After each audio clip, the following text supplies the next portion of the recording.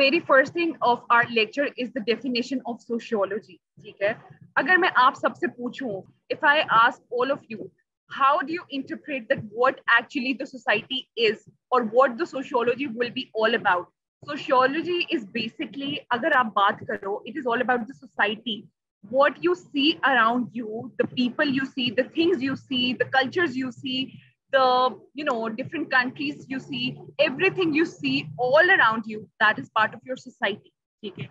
And the angle and how you perceive that particular society so sociology is basically the study of that particular society. The things you perceive in the society about the people about those things about your surrounding whatever you perceive about your surrounding that is known as sociology okay so what if I tell you the brief definition of sociology and in simple words? So what is sociology? It is the society, okay? How you perceive the society. If Misbah is, for example, she is part of the society.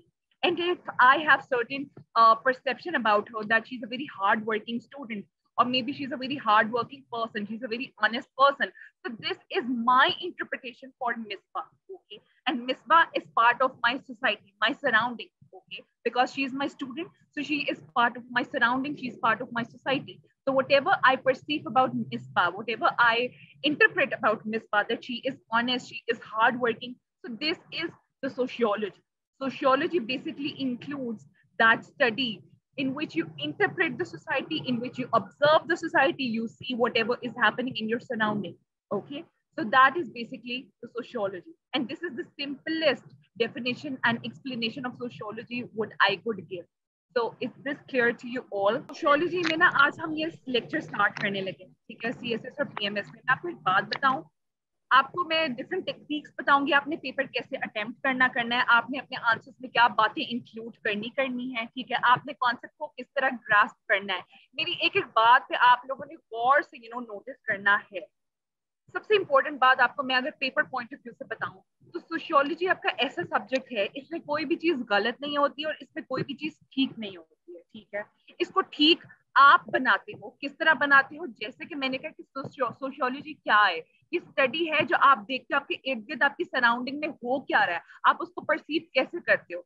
तो अगर आपने इसको paper में coat करना है, जो कि अगर मुझे मिसबा लगती है कि वो हार्ड वर्किंग या ऑनेस्ट स्टूडेंट है, और मैंने ये बात अपने क्वेश्चन के आंसर में बात कोट करनी है एज एन एग्ज़ाम्पल तो मेरे पास सॉलिड आर्ग्यूमेंट होना चाहिए, मेरे पास सॉलिड कोई थेरी होनी चाहिए, कोई एग्ज़ाम्पल होनी चाहिए, कोई एविडेंस होना चाहिए इसको सपोर्ट करने के लिए कि मुझे लगे कि मैं अगले एग्जामिनर को ये बात कन्वे कर सकूँ कि हाँ मिसबा वाकई में एक ऑनेस्ट स्टूडेंट है, एक हार्ड वर्किंग स्टूडेंट है।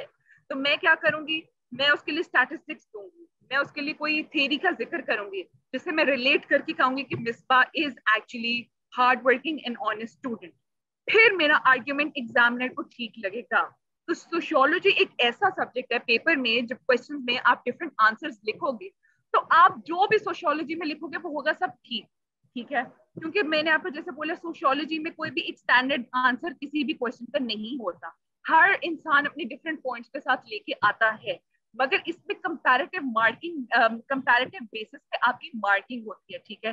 एक इंसान का दूसरे इंसान के स्टूडेंट के पेपर से स्टैंड आउट करता है और वो कैसे करता है? On the basis of your arguments आपने उसको सपोर्ट कैसे किया? अगर मैंने मिसबा को ऑनेस्ट और हार्ड वर्किंग परसीव किया है तो मैविश ने भी उसको परसीव किया हो सकता है और उसने भी ये बात पेपर में लिखी हो सकती है। मगर मैं अब अपने इस आर्ग्यूमेंट को सपोर्ट कैसे करी हूँ? डिफरेंट थेरीज कोट करके सोशियोलॉजिस्ट की डिफरेंट एग्जाम्पल्स कोट करके डिफरेंट आप उसको कहो स्टैटिस्टिक्स कोट करके तो इस तरह मेरा आर्ग्यूमेंट एग्जामिनर को ज़्यादा सॉलिड लगेगा, ज़्यादा सपोर्टिव लगेगा तो वो मैविश का उस टाइम उतना सपोर्टिव नहीं लगेगा, क्योंकि उसको स्टैट्स नहीं दिए होंगे, उन थेरीज का ज़िक्र नहीं किया होगा, उसने एग्जाम्पल्स नहीं दिए होंगे। तो इसलिए वो मुझे ज़्यादा मार्क्स देगा। तो सोशियोलॉजी में मैं आज आपको सबसे पहले दिन लेक्चर में एक बात क्लियर कर दूँ कि आपने जो चीज़ लिखोगे पेपर में, होगी वो बिल्कुल ठीक, होगी वो बिल्कुल ठीक as long as it is relevant to your question जो आपसे क्वेश्चन में डिमांड किया गया है और आप उसकी बातों को यू नो केटर कर रहे हो तो इट इज़ ऑल करेक्ट मगर अगर आप अपना चाहते हो कि आपके कंपेटिटर से आपका पेपर स्टैंड आउट करे तो आपको इसमें थोड़ा सा ये हार्डवर्क करना पड़ेगा जो कि मैं आपके साथ मिलके करूँगी एक आप डिफरेंट ऑथर्स की डेफिनेशन कोट किया करो ठीक है? डिफरेंट सोशियोलॉजिस्ट की थेरीज कोट किया करो ठीक है? मैंने अगर मिसबा को हार्ड वर्किंग शो किया तो मैं किसी सोशियोलॉजिस्ट की इसमें थेरी कोट करूँगी। और वहाँ पे मैं शो करूँगी कि वाई वो मुझे रिलेट करूँगी कि मुझे क्यों वो लगती है कि, हार्ड वर्क स्टूडेंट है। तो सोशियोलॉजी में आपने एक अप्रोच अपनानी है अपने आंसर्स में throughout the very first thing I am telling you that you have to quote theories on and off, like in each and every point, ठीक है? Different sociologists की। फिर अगर मैं आपसे कहूँ आपसे कहूँ कि सोशियोलॉजी की डेफिनेशन की बात करोगे जितने भी और आपको डेफिनेशन आएँगे सोशल चेंजेस की या कल्चर की जो डिफरेंट आगे हम एस्पेक्ट सोशियोलॉजी में पढ़ेंगे। तो उसके लिए सिर्फ़ एक डेफिनेशन इज़ नॉट इनफ ठीक है? या एक किताब की डेफिनेशन इज़ नॉट इनफ मैं आज आप लोगों को बता दूँ हॉटन एंड हंट पढ़ो टागा वाली बुक पढ़ो, ये डिफरेंट बुक्स पढ़ो। No no. आपने अच्छे सोर्सेज से फॉरेन ऑथर्स के सोर्सेज से भी और डिफरेंट सोशियोलॉजिस्ट की डेफिनेशन हर टॉपिक पे इकट्ठी करनी है। And you to quote that in your paper ठीक है? फिर आप जो भी क्वेश्चन के आंसर में सपोर्टिंग आर्ग्यूमेंट्स लिख रहे हो, आपने उसके लिए डिफरेंट एग्जाम्पल्स यूज़ करनी है। Practical examples real life examples use करनी है, ठीक है? हमारे यहाँ जैसे फॉर एग्ज़ाम्पल आपको कुछ सोशल प्रॉब्लम पे क्वेश्चन आ जाता है।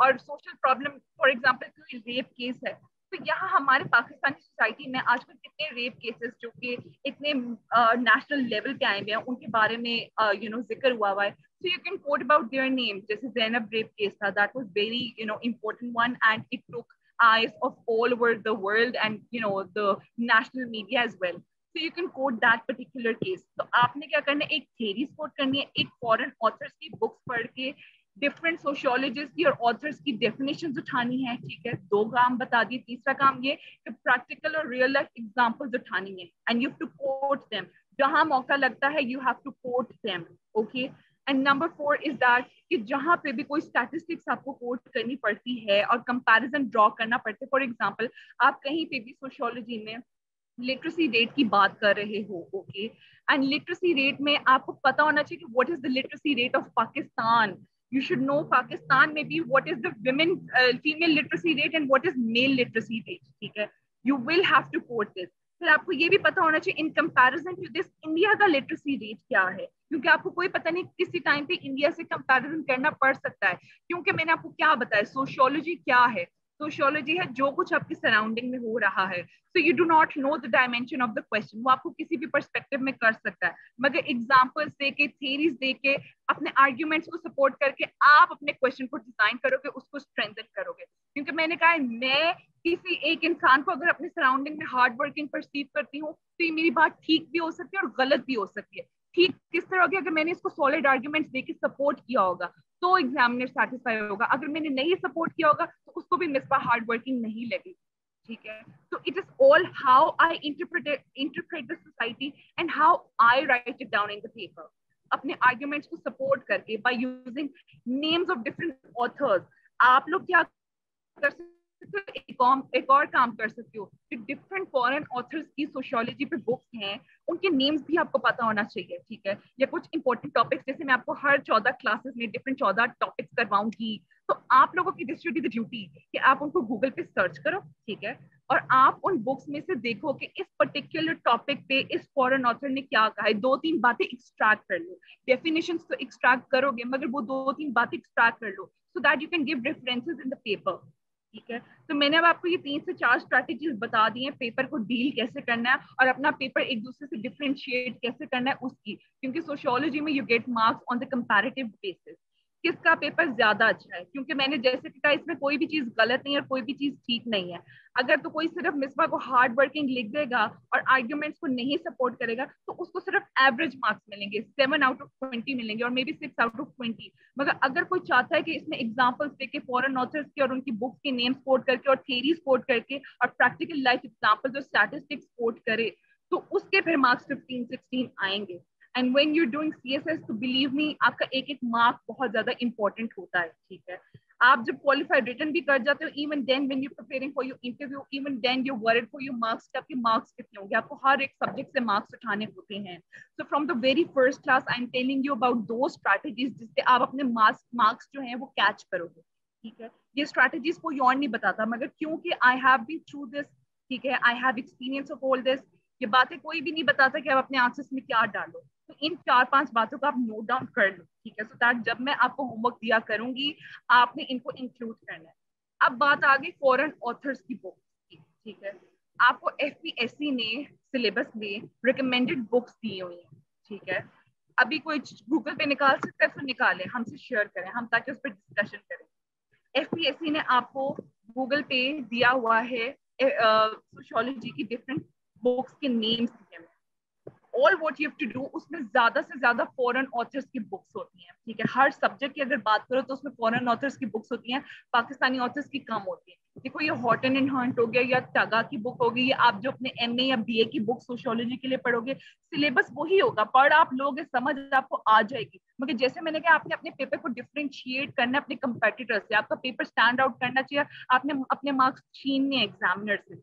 For that all what you to do is कि उन फॉरन ऑथर्स की जो बुक्स हैं, मैं ये नहीं कहती सारी सारी रीड करो, मगर जो जो टॉपिक अपने सिलेबस के अकॉर्डिंग लेके चलो, पढ़ो, जो मैं क्लास में पढ़ाऊँगी, आज आपको पता चल जाएगा मैंने क्या टॉपिक पढ़ाया, आपको चाहिए उन बुक्स की पीडीएफ फॉर्म निकाल लो, ठीक है? अगर तो परचेज कर सकते हो good enough otherwise take out the PDF form of those books ठीक है? गूगल से और उसके ऊपर उस पर्टिकुलर टॉपिक की रिसर्च करो दो तीन इंपॉर्टेंट बातें निकालो उस बुक का नाम नोट डाउन करो और अगर उस बुक में उस ऑथर ने किसी डेफिनेशन का ज़िक्र उस टॉपिक से रिलेटेड किया हुआ है तो वो नोट डाउन करो ओके ठीक है और फिर उसको अपने अपने आंसर्स में केटर करना है डालना है is this all clear to is this all clear to you all Yes, ma'am. Yes, ma'am. Yes, ma'am. Yes, ma'am. Umm Kulsum, you've raised your hand.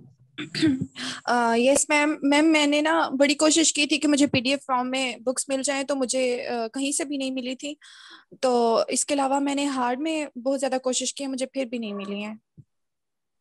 आपको कोई बुक नहीं मिली ये कह रही हैं आप जी मैम अच्छा ठीक है। आज मैंने आप लोग को टास्क ये दे दिया।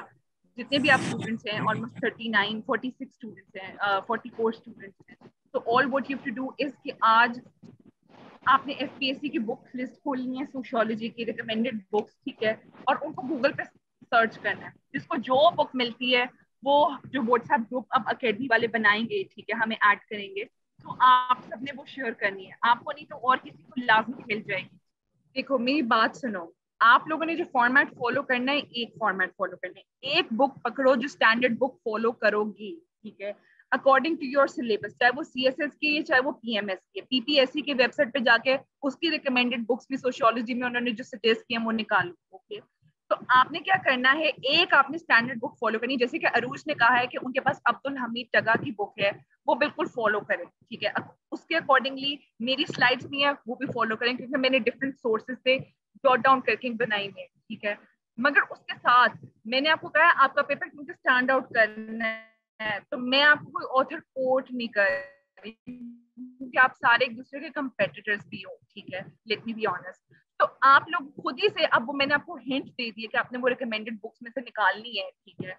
निकाल लो दो बुक्स पकड़ लो, उसमें से इन्हीं टॉपिक्स के ऊपर जो कि स्टैंडर्ड बुक फॉलो कर रहे हो, वो क्योंकि स्टैंडर्ड बुक आपकी एफ़ के सिलेबस या पीपीएससी के सिलेबस के अकॉर्डिंग होनी चाहिए अकॉर्डिंगली चूज़ करो। जो अब्दुल हमीद टगा की बुक है that is according to your syllabus आप वो फॉलो कर सकते हो। तो उसमें जैसे फॉर एग्ज़ाम्पल आप अगर कल्चर का टॉपिक कर रहे हो तो कल्चर का टॉपिक वहाँ से तो प्रिपेयर करो सो करो। जो मैं स्लाइड दूँगी वहाँ से भी प्रिपेयर करो। उसके अलावा दो कोई रिकमेंडेड बुक्स पकड़ लो बीपीएससी के एफपीएससी के सिलेबस से। और उनमें से जो डेफिनेशन कल्चर से रिलेटेड हैं, या कुछ बातें उसने जो कोट की है, वो थोड़ी सी एक्सट्रैक्ट कर लो और बुक का नाम लिख लो। So that in your paper you're able to अगर आपको कल्चर का क्वेश्चन आता है so you're able to quote about those particular things in that question ठीक है? आप उसमें कोट कर सकते हो कि इस बुक में according to this book that particular author says this ठीक है? आप उसको कोट कर सकते हो। या according to this book the definition given by Auguste Comte, the French sociologist, is this. ठीक है? तो इस तरह करके आप कर सकते हो। इस तरह आपने प्रिपेयर करना है right if you have Abdul Hameed टगा book that's good enough और मैं ये नहीं कह रही कि रिकमेंडेड बुक सारी आप लोग निकालो कोई सी भी दो निकाल कोई सी भी दो निकालो विच एवर यू लाइक अगर ज़रूरी नहीं आप रिकमेंडेड बुक्स को ही फॉलो करो, आप ऑनलाइन गूगल के सोर्सेज यूज़ कर सकते हो, ठीक है? वहाँ पे आप और फॉरेन ऑथर्स की इन रिकमेंडेड बुक्स के अलावा बुक सर्च कर सकते हो, आपको कोई मिल जाए। मगर ये टेक्निक है, अगर आप चाहते हो आपका पेपर स्टैंड आउट करे और डिफ्रेंशिएट करे so this is one of the technique which you should follow correct okay आज तो मैंने फ़र्स्ट से आप लोगों को यू नो क्वेश्चन को आंसर कैसे, में क्या क्या चीज़ें इनकॉपरेट करनी चीज़ें बता दी हैं, मैं रिपीटेडली ज़िक्र करती रहूँगी, मगर अब इस पर दोबारा से मैं इतना फोकस नहीं करूँगी क्योंकि मैंने आपको बता दी हाँ। जब क्वेश्चन हम करना शुरू होंगे तो I will tell you question start कैसे करते हैं what comes in introduction how many headings do you have to make and you know whatever but you should know whatever the question you would get, you have to support it with the theories which we will study of all the sociologists, the examples, real life practical examples third is the statistics and fourth is the foreign authors books their quotations their whatever उनकी books में जो भी बातें आपने extract important करनी ये चार चीज़ों पे अमल कर लोगे तो I'm sure your paper will stand out ji Rimsha okay so I was telling you all कि सोसाइटी में हम लोग जो कॉमन कल्चर सेलिब्रेट करते हैं, जैसे कि हमारा ईद का डे हो गया या हम फोर्टीन अगस्त सेलिब्रेट करते हैं तो हम सब सोसाइटी अब उस सोसाइटी के थ्री एस्पेक्ट्स बताए। मैं दोबारा से उनको बता रही हूँ। सबसे पहली बात कि हम लोग लार्ज नंबर ऑफ़ पीपल हैं, जो कि एक ही टेरिटरी में रहते हैं। Because we all belong to Pakistani society so yes we all are living in one territory जो कि पाकिस्तान की बाउंड्रीज के अंदर। नंबर वन ये बात होगी। नंबर टू ये कि हम सब एक दूसरे, हम सब इंडिपेंडेंट हैं उन लोगों से जो हमारी टेरिटरी के बाहर है, ठीक है? हम उन लोगों पर बिल्कुल भी डिपेंडेंट नहीं जो कि यूके में यूए में यूएस में या पाकिस्तान से बाहर कहीं भी हैं, ठीक है? और तीसरी बात ये कि हम लोग जो आपस में सोसाइटी के जो लोग हैं, हम लोग कॉमन कल्चर सेलिब्रेट करते हैं। जैसे कि हमारे ईद हो गई, हमारे जितने भी कल्चरल डेज हो गए ये हम आपस में कलेक्टिवली सेलिब्रेट करते हैं जी फरवा Uh, ma'am, my question is that if we are independent of those who are outside our territory, then how we are connected to them? Like this is a term, there is a term that is known as globalization. If there is independence, then where uh, where will globalization lie? That is very right globalization बिल्कुल exist करती है और globalisation concept ये है कि जब एक society दूसरी सोसाइटी के साथ इंटरैक्ट करती है इंटीग्रेट करती है, उनके कल्चर्स के साथ, उनकी इंफॉर्मेशन के साथ या उनके गुड्स एंड सर्विसेज़ के साथ तो ग्लोबलाइजेशन टेक प्लेस होती है, ठीक है? मगर हम यहाँ पढ़े कॉन्सेप्ट ऑफ़ सोसाइटी वो सोसाइटी अलग है, हमारी सोसाइटी अलग है। तो सोसाइटी में आपको बता रही हूँ, एक नैरो डाउन की हुई चीज़ है। आप पूरी दुनिया को सोसाइटी नहीं कह सकते, ठीक है? पूरी दुनिया इस वर्ल्ड इस वर्ल्ड के अंदर काफ़ी ज़्यादा सोसाइटीज है, काफ़ी ज़्यादा कंट्रीज़ है, फिर उनके अंदर जाके सोसाइटीज आती हैं, जैसे कि पाकिस्तानी सोसाइटी है, ठीक है? तो हम जब भी कोई बात करते हैं ना, हमारी सोसाइटी में होता है तो हमारी सोसाइटी क्या मतलब कि हमारी टेरिटरी जोग्राफिकल बाउंड्रीज के अंदर क्या क्या होता है? हम जब कहते हैं ना कि हमारी सोसाइटी में आप इंडियन कल्चर को बहुत ज़्यादा अडॉप्ट कर हैं तो हम अपनी within the geographical boundaries of Pakistan की बात कर रहे होते हैं। हम ऐसे इंडिया की क्या बातें यहाँ पे लेके आ रहे हैं? मगर हाँ जो ग्लोबलाइजेशन का आप कॉन्सेप्ट कह रहे हो that is totally another thing वो होता है जब डिफरेंट सोसाइटीज इंटीग्रेट होती हैं आपस में अपनी गुड्स और सर्विसेज़ को इंटीग्रेट करती हैं अपनी इंफॉर्मेशन को इंटीग्रेट करती हैं अपनी uh, किसी भी चीज़ को इंटीग्रेट करती हैं अपनी इम्पोर्ट्स एक्सपोर्ट्स को इंटीग्रेट करती हैं मिलती हैं इंटरकनेक्टेड होती हैं या कल्चर्स को इंटीग्रेट करती हैं। तो ग्लोबलाइजेशन का प्रोसेस होता है और वो तब होता है जब एक नहीं सारी सोसाइटीज इकट्ठी यूनाइटेड होती हैं। मगर हर सोसाइटी की अगर बात करें तो उनकी जोग्राफिकल टेरिटरीज एक है, उनकी अपनी पहचान है, उनका अपना कल्चर है, उनकी अपनी जोग्राफिकल बाउंड्रीज हैं और उनके अपने गुड्स एंड सर्विसेज़ हैं। ग्लोबलाइजेशन तब होगी जब वो ये सब इंटीग्रेट करेंगे और आपस में एक दूसरे को यू नो आने देंगे। जैसे हमारी सोसाइटी में इंडियन लोग आते हैं, क्यों नहीं आते?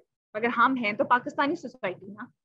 हम भी ग्लोबलाइजेशन का Pakistan is also part of globalization Pakistan is playing an integral role in globalization but if we see it is also part of uh, it has pakistan is another society it is not part of the society of india it is another separate society it is part of its own territory then we have about the characteristics of society ये तो मैंने आपको पीछे बताई about the definition of society जिसके मैंने आपको three aspects बताए हैं now we talk about the characteristics of society, कि society में चीज़ें आ क्या क्या जाती है, ठीक है? There are multiple things इनको गौर से सुनना। सबसे पहली चीज़ आ जाती है कि हमारी सोसाइटीज जो होती हैं दे आर सोई जेनरस ठीक है? This is a French concept इसका मतलब क्या होता है कि ये काफ़ी सोशियोलॉजिस्ट ने भी ये बात की कि जैसे कि इंसान की जो बॉडी होती है ह्यूमन बॉडी होती है, हर बॉडी में आपके बहुत ज़्यादा पार्ट्स होते हैं, ठीक है? आपका स्कल है, आपका फेस है, आपका स्टमक है, आपकी लेग्स हैं, ठीक है? आपके आर्म्स हैं, सब कुछ है। और हर पार्ट की फंक्शनिंग अलग है। मेरे जो हाथ फ़ंक्शन कर सकते हैं, वो मेरे पैर तो नहीं कर सकते। ये जो मेरे पैर फ़ंक्शन कर रहे हैं कि जो उन्होंने चलना है, वो मेरे हाथ तो फ़ंक्शन नहीं कर सकते, लिखने का काम तो नहीं कर सकते। तो हर बॉडी का body has like a lot of you can say parts and every part has its own function ठीक है? हर पार्ट अपना फ़ंक्शन परफॉर्म करता है। तो जो सोई जेनरस कॉन्सेप्ट है ना, वो ये कहता है कि सोसाइटी बिल्कुल ह्यूमन बॉडी की तरह है, ठीक है? बिल्कुल ह्यूमन बॉडी की तरह इंडिविजुअल्स की तरह है। क्यों? क्योंकि सोसाइटी के अंदर भी बहुत ज़्यादा पार्ट्स होते हैं और हर पार्ट अपना फ़ंक्शन खुद परफॉर्म करते हैं। जैसे कि मैंने आपको बोले पाँच इंस्टीट्यूशंस का आपसे ज़िक्र किया है तो वो दो फाइव इंस्टीट्यूशंस आर आल्सो आप उसको फाइव पार्ट्स ऑफ़ सोसाइटी भी कह सकते हो। अब रिलीजियस इंस्टीट्यूशन वो अपना रोल प्ले करेगा एजुकेशन इंस्टीट्यूशन वो अपना रोल प्ले करेगा ठीक है? और वो यू you नो know, ये सब पार्ट्स एक दूसरे से इंटीग्रेटेड होते हैं एक दूसरे पे डिपेंडेंट होते हैं ठीक है? तो इन पार्ट्स को क्या होते हैं? इन लोगों को सोसाइटी चाहिए होती है अपनी एग्जिस्टेंस के लिए, ठीक है? अब हमारे जो रिलीजियस इंस्टीट्यूशन है या हमारे एजुकेशन इंस्टीट्यूशन है या पॉलिटिकल इंस्टीट्यूशन है, इन सबको एक आपका सोसाइटी चाहिए है। क्यों चाहिए इनको? ताकि ये एग्जिस्ट कर सके। हम पाकिस्तानी और मैं कह रही हूँ, हम पाकिस्तानी एक सोसाइटी है। हमें अपनी सोसाइटी क्यों चाहिए? अपनी एग्जिस्टेंस के लिए चाहिए। क्यों हम कहते हैं हमारी बाउंड्रीज इंडिया से अच्छा हुआ अलग हुई हम इंडिपेंडेंट हुए, वरना हम अपने कल्चर्स अपने रिलीजन को, अपनी एजुकेशन सिस्टम को प्रॉपरली प्रैक्टिस ना कर सकते। तो इसलिए सोसाइटी क्यों सबको अपनी सर्वाइवल के लिए चाहिए होती है? क्योंकि इट इज़ इम्पोर्टेंट सोसाइटी उनको पहचान देती है। सोसाइटी में डिफरेंट पार्ट्स होते हैं और उनकी एग्जिस्टेंस के लिए सोसाइटी का होना बहुत ज़रूरी होता है। जैसे कि हमारी सोसाइटी में रिलीजन एक एस्पेक्ट है एजुकेशन एक एस्पेक्ट है अगर हम इंडियन सोसाइटी के साथ होते और हमारी अपनी अलग से पाकिस्तानी सोसाइटी ना होती तो हम उतना अच्छा परफॉर्म ना कर पाते या उस तरह एग्जिस्ट ना कर पाते। जैसे कि आप पैलेस्टीन और कश्मीरी का हाल देख रहे हैं जिस तरह के हम एक इंडिपेंडेंट सोसाइटी होकर कर रहे हैं। तो इसलिए कैरेक्टरिस्टिक सोसाइटी की सबसे पहले ये कि वो सुई जेनरस है तो that is important for the uh, for के मतलब it is broken down into different parts and each part is important for the survival of the society, okay? Second बात जो characteristic of society है that is that it includes human groups. Human groups किस sense में? कि जैसे कि मैंने कहा हम लोग, हमारा जैसे ग्रुप बना हुआ है सोशियोलॉजी का। आपके अब अकेडमी ले लो सीएसएस की अकेडमी है। यहाँ पे आपकी डिफरेंट क्लासेस ट्वेल्व सब्जेक्ट्स की होती है। इंग्लिश के अलग होते हैं सोशियोलॉजी के अलग होती है। हर सब्जेक्ट के अलग होते हैं। तो हमारे ग्रुप्स अलग बने हुए ना। इसी तरह हमने व्हाट्सएप ग्रुप अलग बनाया हुआ है। हर चीज़ का ग्रुप अलग बनाया हुआ है। तो सोसाइटी की वन ऑफ़ द कैरेक्टरिस्टिक ये है कि सोसाइटी के अंदर भी डिफरेंट ह्यूमन ग्रुप्स बनते हैं, ठीक है? कि अब देखो हमारे groups on the basis of हमारा पाकिस्तान एक सोसाइटी है, उसके अंदर फोर प्रोविंसेस हैं। हमारी प्रोविंसेस वाइज भी ह्यूमन ग्रुप्स डिवाइडेड हैं। फिर आप अगर किसी कॉलेज यूनिवर्सिटी में चले जाओ तो उनके अंदर भी further human groups revise this क्योंकि कॉन्सेप्ट कोर कॉन्सेप्ट हैं आपकी बेस यहाँ से स्ट्रॉन्ग बनेगी तो आप आगे जाके समझेंगे। इनको रिवाइज करो और इन पे ऐसे इतना कोई खास क्वेश्चन नहीं आता। बट uh, अभी तक तो मुझे नहीं नज़र आया। I try to figure out मगर इन्हीं के बेसिस पे आपको आगे क्वेश्चन मिलेंगे अगले टॉपिक्स पे। तो ये अच्छे से समझोगे तो वो अच्छे से करोगे because you to quote these things over there तो इसलिए होमवर्क एसेज आपका नहीं है सिवाय इसके कि इसको रीड करना है रिवाइज करना है और वो जो ऑथर्स वाली मैंने आपको काम कहा है उसको साथ साथ फॉलो ज़रूर करना है हर लेक्चर के अकॉर्डिंग जी जी पूछें जल्दी पूछें. यू हैव अनदर मैम ये जो आपने uh, आज सारे ये इंट्रोडक्शन में ये टॉपिक्स करवाएँगे मैम ये तो ऑलरेडी इतने डिटेल ओरिएंटेड है ना? तो मैम इसके बाद हम लोग आप एक दफ़ा सिर्फ़ प्रोसेस बता देंगे कि हम इनको रिवाइज करें और फिर ऑथर की बुक अच्छा, करें। आपको तो हम लोग रिटर्न नोट्स भी बनाने हैं इसके साथ। मेरी बात सुनो देखो सीएसएस का मैं, आप लोग को कहूँ कि नोट्स ना बनाओ। मतलब I can say you this thing मगर I never recommend this thing because I never did this thing well. मैंने कभी खुद भी नहीं किया। मैंने हमेशा अपना टाइम इन्वेस्ट किया है नोट मेकिंग में। And this is what I will recommend you all as well कि आप लोग टाइम इन्वेस्ट करो नोट मेकिंग में because in the end during your papers as well as आपके पेपर से पहले ये नोट्स ही आपके काम आते देखो मैंने आपको जैसे कहा, आपका पेपर स्टैंड आउट करना है आपके कंपेटिटर से आप जो 40-45 लोग क्लास में हो, आप सारे एक दूसरे के कंपेटिटर भी हो। ये स्लाइड्स तो मैं आपको दे दूँगी, मगर पढ़ोगे तो आप 40-45 आप सब जाके फिर पेपर में बात तो ठीक लिखाओगे मगर आपकी मार्किंग होगी कंपेरेटिव बेसिस पे। तो इसलिए आपने अपने नोट्स लाजमी बनाने और उसके लिए मैंने आपको फॉर्मेट ये बताया, कोई भी एक स्टैंडर्ड बुक फॉलो किया करो, या हर सब्जेक्ट पे अप्लाई करो कॉन्सेप्ट ये सिर्फ़ सोशोलॉजी में नहीं, हर पे अप्लाई करो। कोई भी एक स्टैंडर्ड बुक लो, जो आपके सिलेबस के अकॉर्डिंगली हो सी का एफ़ या पीपीएससी का, जो भी सिलेबस है, वो निकालो बुक मैच करो, ये मिल जाती है वर्ल्ड टाइम्स की भी, और जैसे किसी ने मुझे ये भी कहा टागा की भी बुक ये सिलेबस के अकॉर्डिंग है। इनको फॉलो करो, मेरी स्लाइड्स फॉलो करो, फिर कुछ गूगल के सोर्सेज यूज़ कर लो, या वो जो एफपीएससी और पीपीएससी के रिकमेंडेड बुक्स हैं, एक या दो, वो उठा लो तो जो जो हम टॉपिक साथ साथ पढ़ते जाएँगे ना, उन पर्टिकुलर टॉपिक्स के ऊपर सर्च करके वो बातें थोड़ी सी एक्सट्रैक्ट करके नोट डाउन कर लिया करो। मतलब उन टॉपिक को उन बुक्स में से रीड करने में हर्ज क्या है? किया करो। मैंने इतनी एक्सटेंसिव रीडिंग की, इतनी एक्सटेंसिव रीडिंग की यू नो आइडिया जो जो मुझे इंपॉर्टेंट बातें लगती थी, मैं उठाती थी और अपने नोट ज़रूर बनाओ। अपने नोट्स भी इस तरह वाले बनाओ, इतनी लेंदी लेंदी बातें ना नोट करो and in your like November December you have to make you short notes as well मेरा पूरा sociology eight to ten pages पे भी था, जो कि एक दिन में आपके, क्योंकि दो दो पेपर्स होते तो I use to revise that मैं अपने पेपर देने से पहले वो आठ दस पेजेस रिवाइज करना, पूरा रिवाइज करके गई थी. And this is the technique which you to follow और मैं आपको बता रही हूँ. मैं आपको वो बातें बता रही हूँ जो आपको नॉर्मली लोग नहीं बताते हैं to be very honest because I have been through this process खुद मैंने ये गुजरा हुआ है मुझे पता है क्या क्या किया मैंने कैसे कैसे सीखा है।